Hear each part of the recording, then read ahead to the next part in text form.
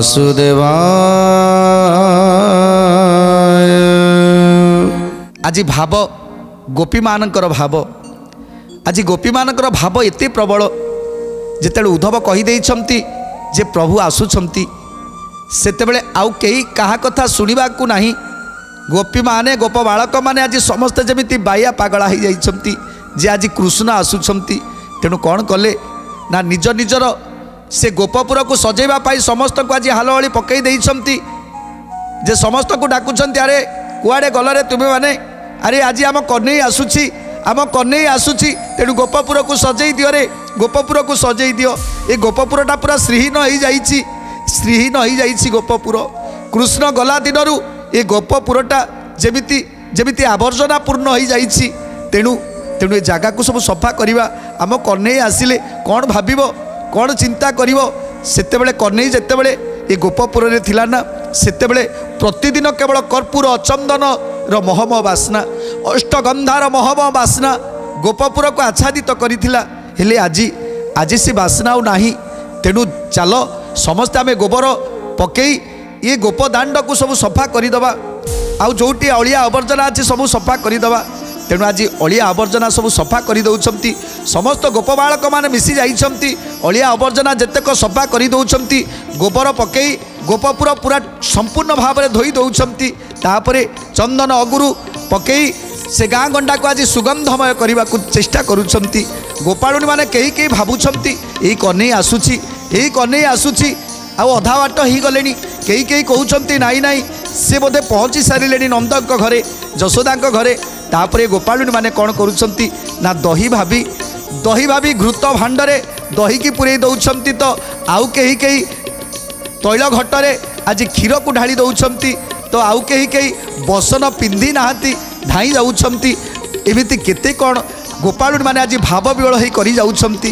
ତାହା ତା କହିବା ମଧ୍ୟ ଅସମ୍ଭବ।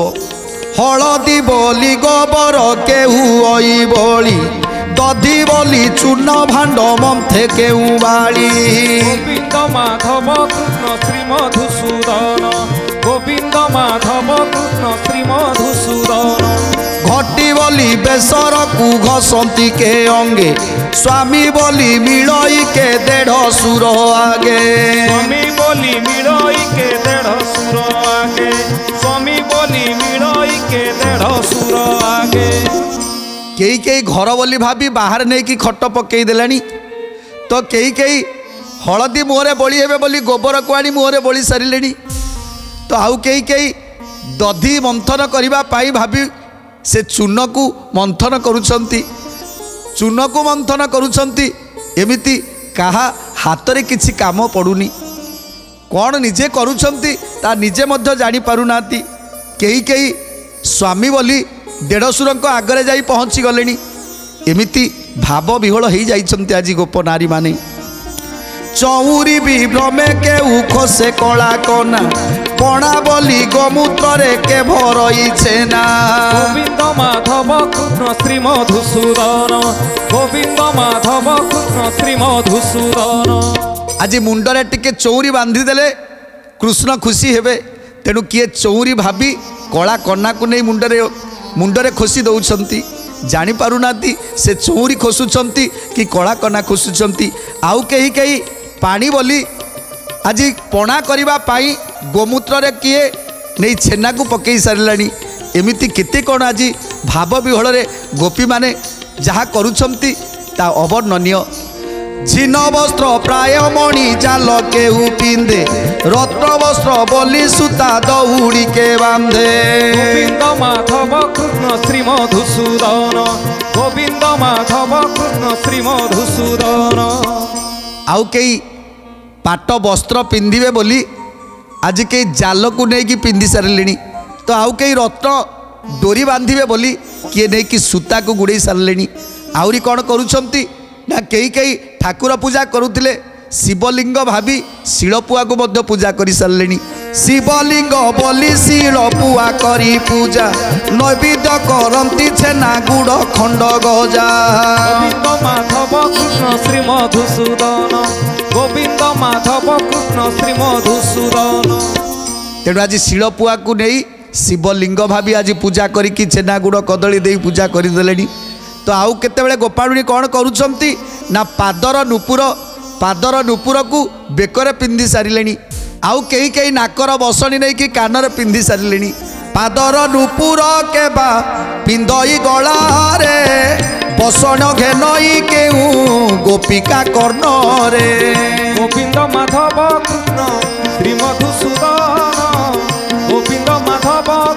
କୃଷ୍ଣ ଶ୍ରୀ ମଧୁସୂଦନ ବସା ବୋଲି ପୁତ୍ରକୁ କେ କରଇ ବନ୍ଧନ ବିରହ ବିହଳେଲା ଗୋପୀଙ୍କର ମନ ଗୋବିନ୍ଦ ମାଧବ କୃଷ୍ଣ ଶ୍ରୀ ମଧୁସୂଦନ ଗୋବିନ୍ଦ ମାଧବ କୃଷ୍ଣ ଶ୍ରୀ ମଧୁସୂଦନ ତେଣୁ କେହି କେହି ଗୋପାଳୁଟି ଭାବୁଛନ୍ତି ନିଜର ପୁଅକୁ ନେଇ ବାଛୁରୀ ଭାବି ନେଇକି ବନ୍ଧନ କରିସାରିଲେଣି ଏମିତି ଗୋପୀମାନଙ୍କର ବାଇଆ ବାତୁଳା କାର୍ଯ୍ୟକୁ ଦେଖି ଉଦ୍ଧବ ଆଶ୍ଚର୍ଯ୍ୟ।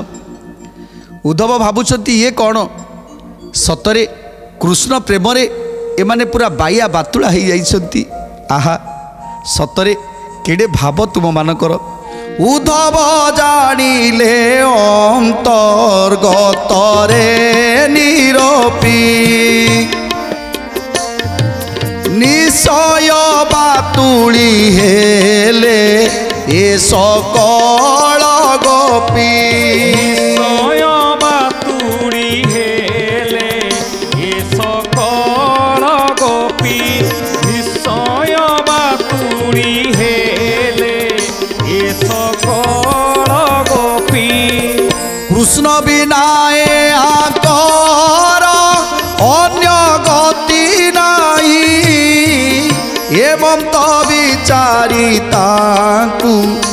କହିଲେ ବୁଝାଇ ମନ୍ତ ବିଚାରି ତାଙ୍କୁ କହିଲେ ବୁଝାଇ ଏ ମନ୍ତ ବିଚାରି ତାଙ୍କୁ କହିଲେ ବୁଝାଇ ଆଜି ଉଦ୍ଧବ ଉଦ୍ଧବ କହୁଛନ୍ତି ହେ ଗୋପୀମାନେ ତମେ ସତରେ ଆଜି ବାତୁଳି ହେଇଯାଇଛ। ବାୟା ବାତୁଳି ହେଇଯାଇଛ କୃଷ୍ଣଙ୍କ ପାଇଁ। ତୁମେମାନେ ଯେମିତି ବାଇଆ ବାତୁଳା ହେଉଛ ସେମିତି ଯଦି ହେବ ତାହେଲେ ତୁମେ ବଞ୍ଚିବ କେମିତି ତୁମେ ବଞ୍ଚିବ କେମିତି ଯିଏ ପରମ ବ୍ରହ୍ମ ସ୍ୱୟଂ ନିରାକାର ବିଷ୍ଣୁ ତାକୁ କ'ଣ ତୁମେ ସହଜରେ ବାନ୍ଧି ପାରିବ ଯେତିକି ଦିନ ତୁମର କପାଳରେ ଲେଖା ଥିଲା ସେଇ ସେତିକି ଦିନ ତୁମେ ପାଇଲ।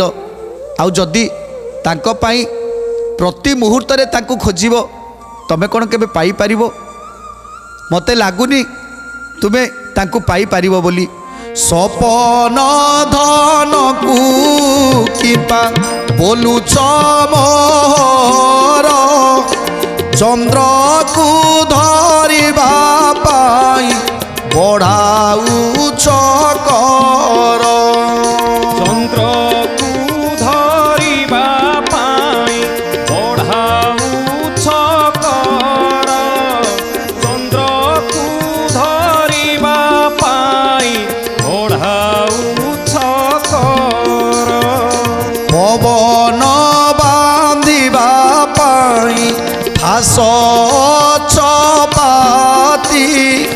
ସମୁଦ୍ରକୁ ଅଙ୍ଗୁଳିରେ କେ ପାରଇ ମନ୍ତି ସମୁଦ୍ରକୁ ଅଙ୍ଗୁଳିରେ ପାରଇ ମନ୍ତି ସମୁଦ୍ରକୁ ଅଙ୍ଗୁଳିରେ ପାରଇ ମନ୍ତି ହେ ଗୋପୀମାନେ ତୁମେ ଯେତେବେଳେ ସ୍ୱପ୍ନ ଦେଖୁଛ ସେତେବେଳେ ସ୍ୱପ୍ନରେ ଆମେ ନାନା କଥା ଦେଖିଥାଉ।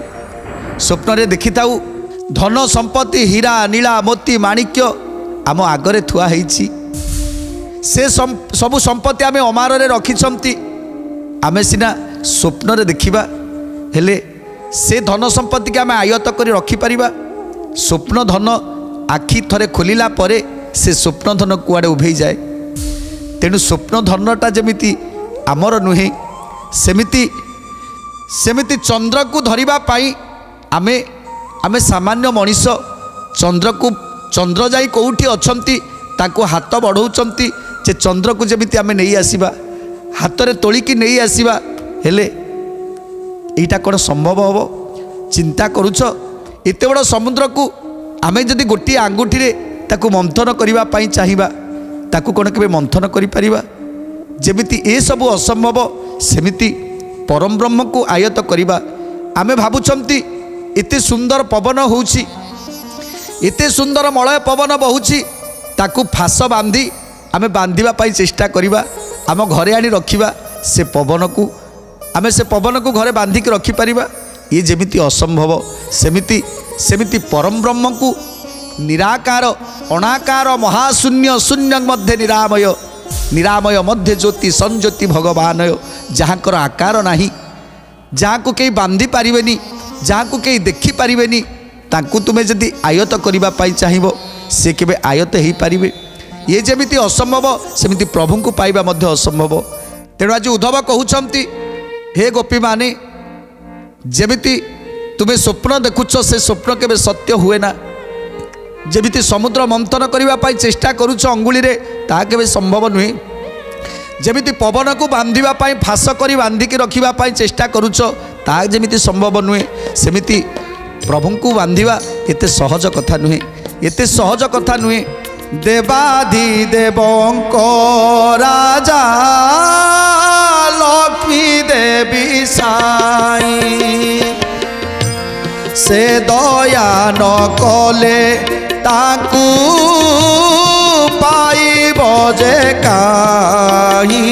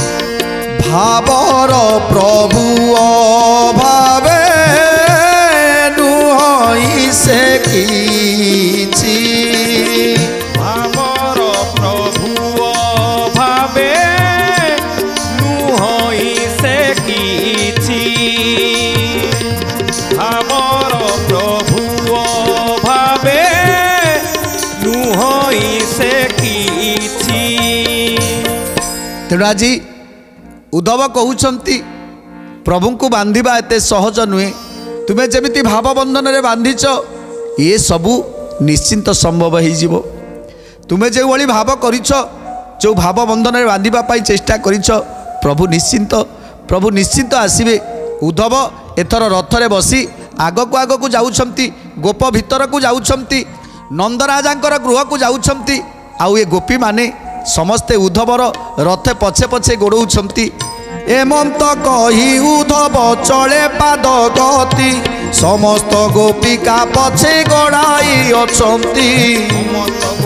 ଗୋବିକା ପଛେ ଗୋଡ଼ାଇ ଅଛନ୍ତି ସମସ୍ତ ଗୋବିକା ପଛେ ଗୋଡ଼ାଇ ଅଛନ୍ତି ଗୋପନଗ୍ରେ ଯେତେ ଲୋକ କରିଥିଲେ ବାସ ଉଦ୍ଧବ ଆଗମ ଶୁଣି ସମସ୍ତେ ହରସ ଗୋବିନ୍ଦ ମାଧବ କୃଷ୍ଣ ଶ୍ରୀ ମଧୁସୂଦନ ଗୋବିନ୍ଦ ମାଧବ କୃଷ୍ଣ ଶ୍ରୀ ମଧୁସୂଦନ ଏକ হুত হুয়ার এক ক্রমে বার্তা পাই। দেখা দরশনি ঘেনি অইলে সে ধাই।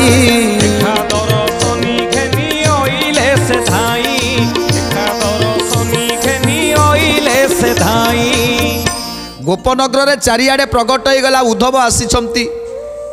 তেণু উদ্ধব কাহিকি আসিছন্তি উগ্রসেন রাজা বোধে পঠেইছন্তি মথুরা নগরর রাজা রাজাঙ্কর মন্ত্রী ଆଜି ଆସିଛନ୍ତି କାହିଁକି ଗୋପପୁରକୁ? କିବା ଧନ ସମ୍ପତ୍ତି ଦେଇଦେବେ?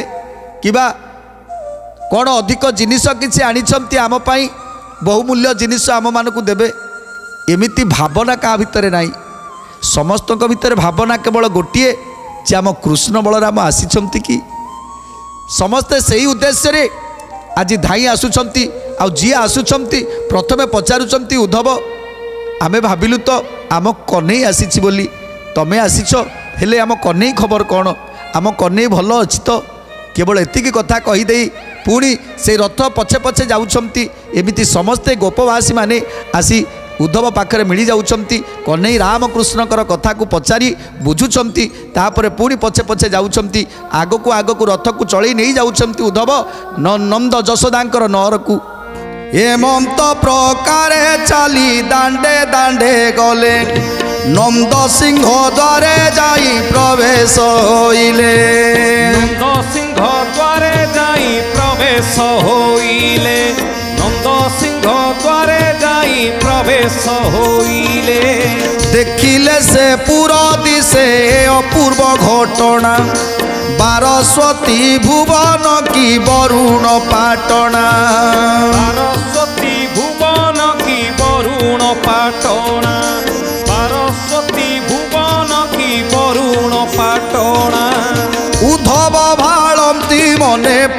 প্রশংসা করি। নইলে কে মন্তে থামতে রাম হরি এ মন্ত বিচারিত ভিতরকু গলে অবারিত হই পুর মধ্যরে পশিলে। অবারিত হই পুর মধ্যরে পশিলে। অবারিত হই পুর মধ্যরে পশিলে। যেতবে ধীরে ধীরে আগকু আগকু রথ নেই যাচ্ছেন উদ্ধব। ପଛେ ପଛେ ଗୋପ ଗୋପାଳୁଣୀ ମାନେ ସମସ୍ତେ ଧାଉଁଛନ୍ତି। ନନ୍ଦ ଯଶୋଦାଙ୍କ ନଅର ପାଖରେ ଯେତେବେଳେ ପହଞ୍ଚି ଯାଇଛନ୍ତି ସେତେବେଳେ ଉଦ୍ଧବ ଦେଖୁଛନ୍ତି ଆହ କି ଅପୂର୍ବ ଅପୂର୍ବ ଯେମିତି ବାରସ୍ୱତୀପୁର ଯେମିତି ବୈକୁଣ୍ଠପୁର। ସତରେ ଏତେ ସୁନ୍ଦର ଏତେ ସୁନ୍ଦର ହେଇଛି ଏ ନଗର ଯେମିତି ଇନ୍ଦ୍ରପୁର ମଧ୍ୟ କମ୍ ପଡ଼ିଯିବ। ଉଦ୍ଧବ କିଛି କ୍ଷଣ ସେ ସେ ଗୃହକୁ ଦର୍ଶନ କରୁଛନ୍ତି। ଆଉ ସେ ଗୃହକୁ ପ୍ରଣାମ ଜଣେଇ ଧୀରେ ଧୀରେ ଭିତରକୁ ଯିବାକୁ ଚେଷ୍ଟା କରୁଛନ୍ତି। ନନ୍ଦ ଯଶୋଦା ଯେଉଁ ଗୃହ ଭିତରେ ଅଛନ୍ତି ସେ ଗୃହ ଭିତରକୁ ଯିବାକୁ ଚେଷ୍ଟା କରୁଛନ୍ତି ଉଦ୍ଧବ। ଯେଉଁଠାରେ ଥିଲେ ନନ୍ଦ ଯଶୋଦା ଏବେନି ସେଠାରେ ମିଳିଲେ ଯାଇ ଭେଟି ଦ୍ରବ୍ୟ ଘେନି। ସେଠାରେ ମିଳିଲେ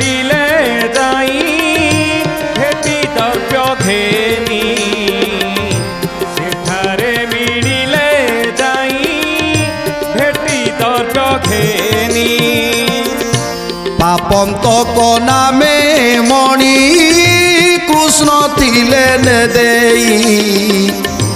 নন্দ যশোদা চামুরে থইলে তানেই।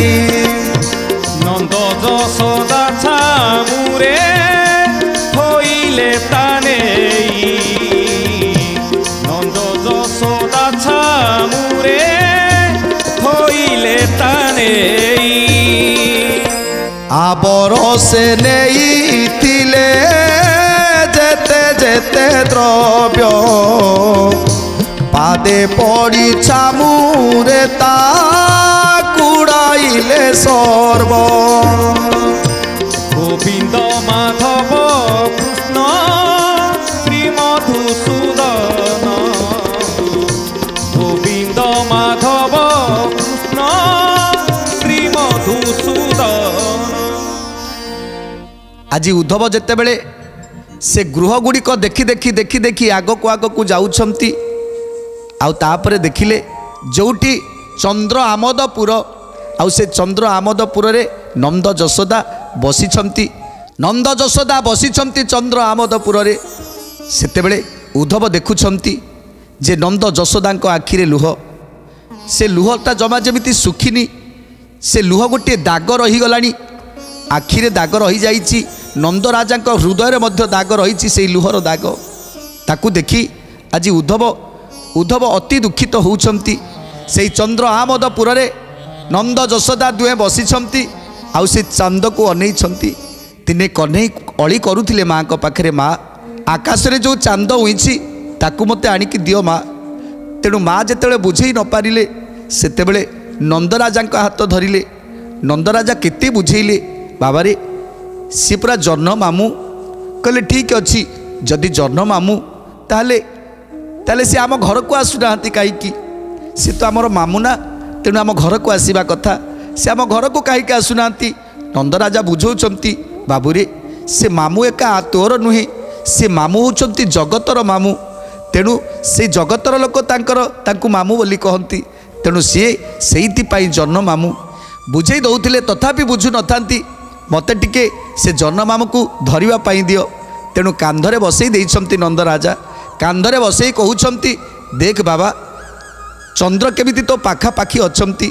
ତେଣୁ ଚନ୍ଦ୍ରକୁ ଡାକିଲେ ଆସନ୍ତିନି ହାତ ବଢ଼େଇଲେ ହାତ ପାଆନ୍ତିନି କିନ୍ତୁ ସେ ଉପରେ ରହି ସେ ଉପରେ ରହି ସମସ୍ତଙ୍କୁ ଆଶୀର୍ବାଦ ଦେଉଥାନ୍ତି ଖିଲି ଖିଲି ହସୁଥାନ୍ତି। ତେଣୁ ଆଜି କହୁଛନ୍ତି ହେ ପିତା ତମେ ମୋତେ ସେ ଚାନ୍ଦ ଆଣିକି ଦିଅ। ତେଣୁ ସୁବର୍ଣ୍ଣର ଚାନ୍ଦ ଗୋଟେ ଗଢ଼େଇ ଦେବା ପାଇଁ ଆଜି ପ୍ରତିଶ୍ରୁତି ଦେଇଥିଲେ। ବାବୁରେ ମୁଁ ତୋତେ ଗୋଟେ ସୁବର୍ଣ୍ଣର ଚାନ୍ଦ ଗଢ଼େଇକି ଦେବି ତୁ ଆଉ ମନ ଉଣା କରନା। ତେଣୁ ସେଇ ସେଇ ଚନ୍ଦ୍ର ଆମୋଦପୁର ଅଛି ଯାହାକି ଆକାଶକୁ ଚାହିଁ ଆଜି ନନ୍ଦ ଯଶୋଦା ବସିଛନ୍ତି। ଆଉ ସେଇ ବାଟକୁ ଚାହିଁ ବସିଛନ୍ତି ଯେଉଁ ବାଟ ଦେଇ କହ୍ନେଇ ଚାଲି ଯାଇଛନ୍ତି। ଯେଉଁ ଘରଟା ଆନନ୍ଦ ଉଲ୍ଲାସରେ ଫାଟି ପଡ଼ୁଥିଲା ଆଜି ସେ ଘରଟା ପୁରା ସୁନସାନ ହେଇଯାଇଛି। ସୁନସାନ ହେଇଯାଇଛି କେଉଁଠି କେତେବେଳେ ଇଚ୍ଛା ହେଲେ ଖାଇଲେ ତ ଇଚ୍ଛା ନହେଲେ ସେମିତି କୃଷ୍ଣ କଥାକୁ ଭାବି ଭାବି ସେଇଠି ଦିନଟା କଟିଗଲା। ସକାଳୁ ବସିଛନ୍ତି ଯଦି କୃଷ୍ଣଙ୍କର କଥା ମନେ ପଡ଼ିଗଲା ରାତି ପାହିଯିବ ହେଲେ ହେଲେ ତାଙ୍କ ଆଖିକୁ ନିଦ ଆସିବନି। ଦୁଇ ଜଣ ଆଖିରୁ ଲୁହ ଝରଉଥିବେ। କହ୍ନେଇର କଥାକୁ ଆ- ଭାବି ଆଖିରୁ ଲୁହ ଝରଉଛନ୍ତି। ଆଜି ଏଇ କଥାକୁ ଭାବୁଛନ୍ତି ଉଦ୍ଧବ ମଧ୍ୟ ଭାବୁଛନ୍ତି ଯେ ପ୍ରଭୁ କହୁଥିଲେ ଯେ ନନ୍ଦ ଯଶୋଦାଙ୍କର କେତେ ଭଲ ପାଇବା କେତେ ସ୍ନେହ କେତେ ମମତା। ତେଣୁ ଆଜି ସେ କଥା ନିଜ ଆଖିରେ ଦେଖୁଛନ୍ତି ଉଦ୍ଧବ। ତାପରେ ଯାଇ ପହଞ୍ଚିଗଲେ ନନ୍ଦ ଯଶୋଦାଙ୍କ ସାମ୍ନାରେ।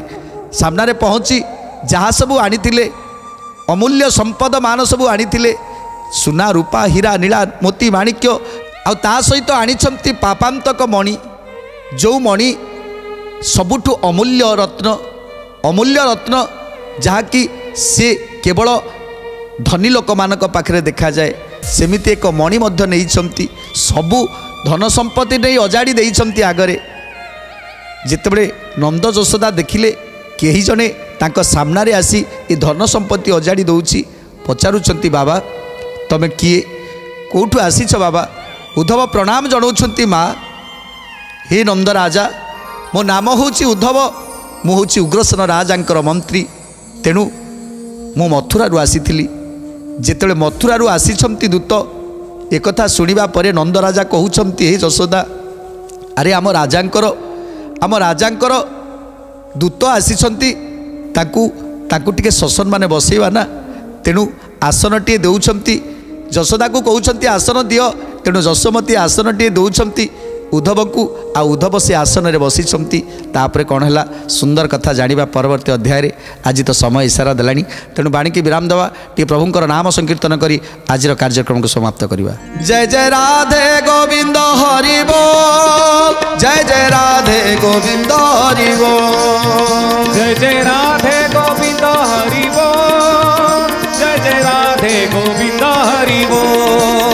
ହରିବ ହରିବ ହରିବ हरि बोल हरि बोल हरि बोल। हरि बोल हरि बोल हरि बोल। हरि बोल हरि बोल हरि बोल। जय जय राधे गोविंद हरि बोल। जय जय राधे गोविंद हरि बोल। जय जय राधे गोविंद हरि बोल। जय जय राधे गोविंद हरि बोल।